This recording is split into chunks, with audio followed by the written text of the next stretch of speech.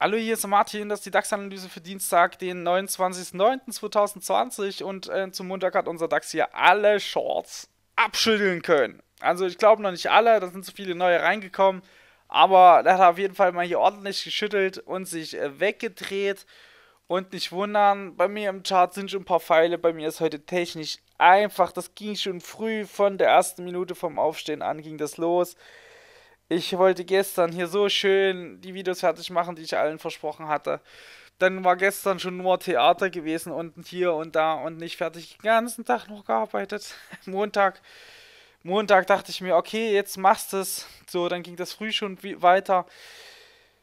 Dann ist die Website ähm, Nachmittag rum abgeraucht. Deswegen wundern Sie sich nicht, dass unsere Website momentan nicht geht. Ähm, das ist schon in Behebung. Die Techniker sind da dran. Und jetzt habe ich auch noch mein Video eingesprochen. es hat es nicht gespeichert. Ich, heute ist echt, heute ist echt der Wurm drin. Und ich denke, das geht auch einigen, ging auch einigen im DAX so. Ich habe mich gleich früh, als ich das gemerkt habe, hier ein bisschen auch zurückgehalten. Ähm, äh, wir waren im, im Dienst, ähm, ja, nee, haben eigentlich gar nichts, gar nichts großartig drin gemacht der ist ja, ist ja großteilig hier oben auch einfach zur Seite gelaufen. Aber die meisten, die dürften hier einfach ähm, Short gegen gestanden haben. Das Euwax Sentiment, das war brutal auf Short gewesen. Das heißt, es haben ganz viele neue Short-Positionen aufgebaut. Es wurden ja schon zum Freitag viele überrumpelt und waren nicht bereit, diese Short-Gewinne mit, mitzunehmen. Ne? Wir haben bei uns im Chat einige gehabt, die dann geschrieben haben, sie schieben ihre Stops. Die haben die wahrscheinlich auch rausgenommen. Dann Aufwärtsgap und weiter. Jetzt weitere Shorts dazu. Das ist ein, ein Punkt, ähm, wo ich sage, wir hatten hier einen Pfeil drin, den habe ich, also der war schon drin hier, 700 hat man gesagt, wenn er über 700 geht, dann unterbricht er die Hochtieffolge, kann er weitermachen. Ich hatte hier unten einen Pfeil drin, den habe ich jetzt hier rausgelöscht, das ist natürlich jetzt doof, dass ich das, warten Sie mal kurz, das kriegen wir doch hier rekonstruiert. Das war die Ausgangslage gestern gewesen beziehungsweise für den Montag. Äh, ich hatte gesagt, vielleicht ein schöner Start hier 665 rum, äh, ma ma maximal halt, ne, auf jeden Fall unter 700, bleiben unter 665, unter 640, einfach hier kurz reinstechen und dann abwärts trudeln zur 440, zur 470, das war so ein bisschen meine Erwartungshaltung und das hat er ja direkt negiert, ja. Dann hat man hier gesagt, über 47 würde die Hochtieffolge brechen, dann hätte er schon Chancen zur, zur 830 und über 830 über dem letzten Hoch dann eben entsprechend Aufwärtspotenziale nach oben. Das das hat er soweit alles getan, hat gar nicht großartig nach unten Gelegenheit gegeben, überhaupt irgendwas bärig zu interpretieren.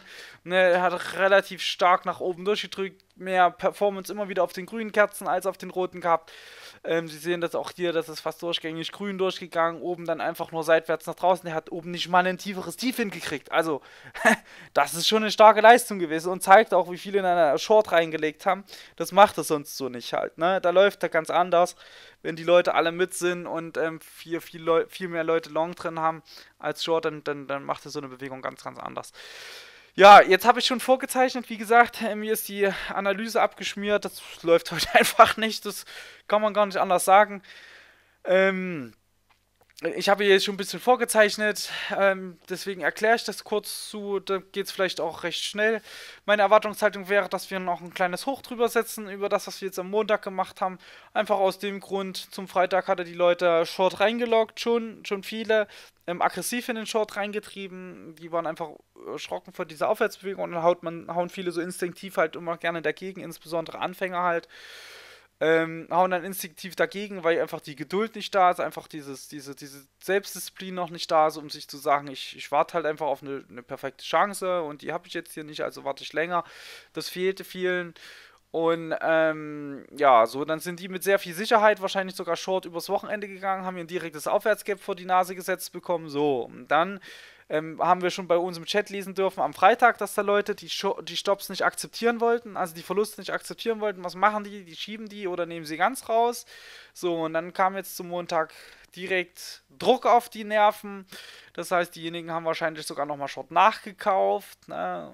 Vielleicht die Position, den Einstand zu verbilligen, zu vergünstigen. Ja, und dann ging das relativ schnell und sowas, das macht der DAX halt einfach, wenn er mehr Futter auf der Oberseite hingelegt kriegt. Das holt es sich, so funktioniert die Börse, äh, wenn die Privatanleger hier alle die gleiche Idee haben und ähm, das Futter einseitig präsentieren, dann läuft der Markt halt dorthin.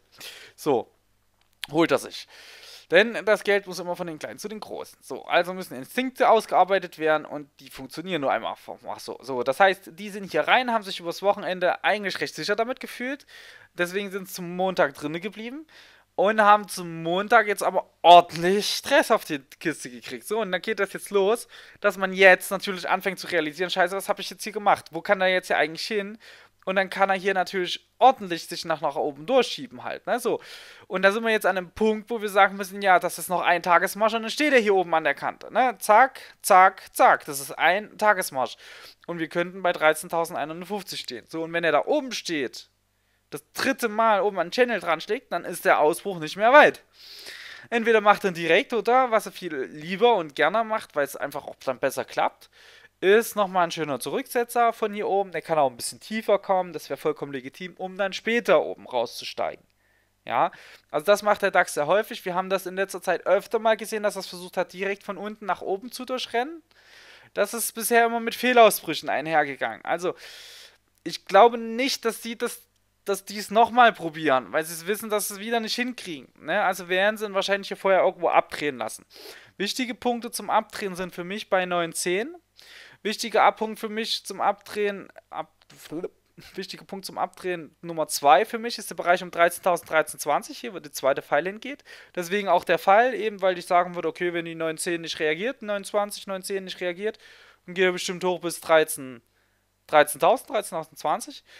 Dort wäre nochmal ein Punkt, um wegzudrehen. Und wenn der nicht kommt, dann eben hier oben die Zone um 13.110, wo das offene Gap noch hier liegt und die obere Channelkante um aktuell ca. 13.140. So, das sind so die drei Punkte, wo ich mit deutlicher Reaktion zum Dienstag rechne. Ähm, wie gesagt, die 910 würde mir vielleicht schon ausreichen, wenn er die zum Vormittag schön reinbringt. Und ähm, dann muss er sich nach unten strecken. Halt, ne? Also dann dann muss es sich wirklich schön strecken, schön nach unten rausarbeiten, lange rote Kerzen bringen, um sich hier wieder entsprechende Potenziale aufrechtzuerhalten. 12.800 wäre so ein erstes Ziel und auch eine gute Unterstützung. Und äh, geht er tiefer als 12.800. Wir hätten hier noch so die 12.750 rum, aber ich würde es rauslassen. Ich würde ihn eher so um 12.700 dann sehen. Das ist eine gute Unterstützung, aber was unser DAX viel lieber macht, ist einfach immer dieses, dieses Gap-Close antäuschen und dann aber kurz vorm Gap drehen. Das macht es so oft. Ich würde es jetzt hier einfach mal so anzeichnen und das dann wäre dann mein zweites Ziel und mein drittes Ziel unten. Na, also 12.800, wenn er wegdreht, aber dann muss er wirklich lange rote Kerzen bringen. Von 12.800 kann ich schon wieder ansteigen.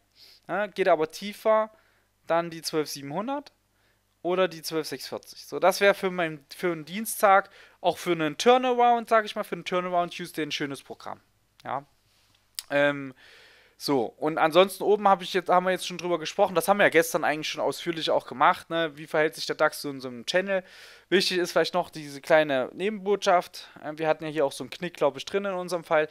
Der schafft es halt in der Regel nicht direkt halt, ne? Da kriegt es nicht hin, er braucht vorher nochmal einen kleinen Rücklauf. So. Das heißt, das wären so oben raus meine, meine Szenarien. Ähm, mag alles ein bisschen anders klingen als gestern. Gestern war ich ultra äh, negativ noch gestimmt, habe ihnen davon erzählt, wie denn hier die fallenden Tiefs sind und ähm, wie, wie, wie abwärts das denn noch ist und dass er gut nach unten gehen kann. Heute erzähle ich ihnen alles nach oben. Äh, muss man auch ein bisschen vorsichtig sein, da ist wirklich bloß ein Tag dazwischen. Ich bin auch selber ultra vorsichtig, habe hier zum Beispiel selber auch keine Longs gekauft in dem Bereich, weil ich mir einfach gesagt habe, ich will das halt einfach erstmal sehen.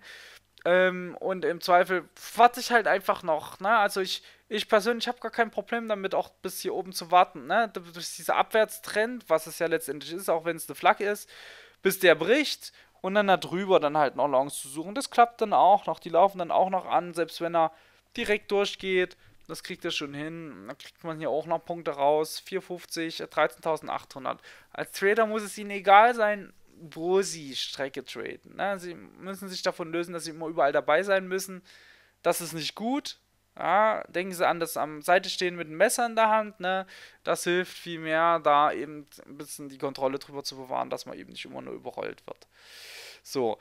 Ja, und wenn er einen Turnaround bringt, ich möchte das ein bisschen anzweifeln. Ich kann mir nicht vorstellen, dass er kommt, weil einfach viel zu viele Short drin sitzen.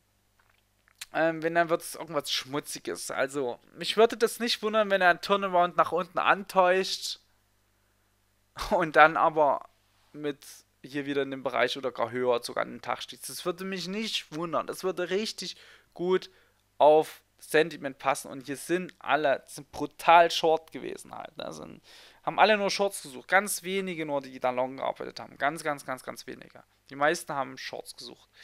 Ja, so, das heißt, die suchen dann nämlich jetzt long, wenn er anfängt zu fallen, aber stehen halt denen entgegen, die ja alle noch offene Position drin haben. So, und das wird, das wird interessant. Also ich könnte mir das gut vorstellen. 12.800, antäuschen, 12.775 oder so und erstmal wieder hoch.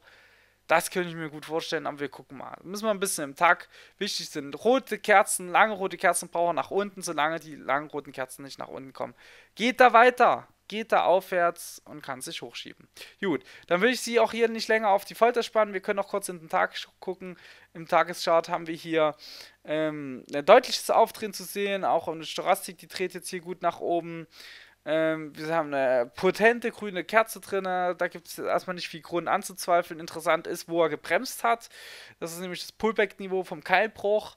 Ne, auf dem hat er sich jetzt hier seitwärts doch schwerer getan äh, deutlich Fahrt rausgenommen. Ähm, Pullbacks auf Keile sind immer horizontal, ne? also das kann durchaus sein, aber um, um, um da jetzt mitzuspielen, muss er eigentlich den Montag komplett umdrehen zum Dienstag. Der muss den kompletten Tag umdrehen. Das heißt, Tagesschluss unter 6,50, das wird nicht hinkriegen. Dafür sind die Leute zu viel short.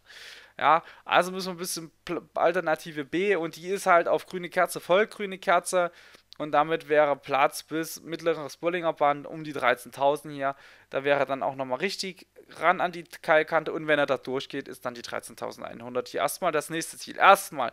Und dann sehen Sie auch das, was ich Ihnen im 2-Stunden-Chart vor uns erklärt habe. Darüber ist dann auch noch genug Luft, um später nochmal irgendwie was zu probieren halt. Ne? Also da muss man nicht verfrüht die, die, die, ja, da ist noch Platz. Also da kann man ruhig noch ein bisschen man muss nichts überschätzen halt einfach. Ne? Bewegt sich morgen auch noch. Und äh, wenn er steigt, wird das nicht der letzte Tag gewesen sein. Dann muss man auch auf Long-Seite nicht äh, Panik bekommen und auf Short-Seite halt einfach ein bisschen Vernunft walten lassen. Ne? Lieber shorten, wenn er dann wieder die roten Kerzen liefert und solange hier nur grünes Zeug rumspuckt, lassen sie ihn halt. Oder gehen sie halt long mit. Ne? Ähm, da dagegen zu hauen, macht dann auch keinen Spaß, wenn man das noch ewig aussetzt. Wo man gegenhauen probieren könnte, wären wie gesagt diese drei Bereiche hier. Und da kann man aber auch durchaus eine erste Signalkerze in die richtige Richtung abwarten und sich dann im Anschluss einfach nur anschließen. Ja, gut, ich mache damit zu, wünsche ihm viel Erfolg, gutes Gelingen und dann hören wir uns morgen wieder. Bis dahin, tschüss.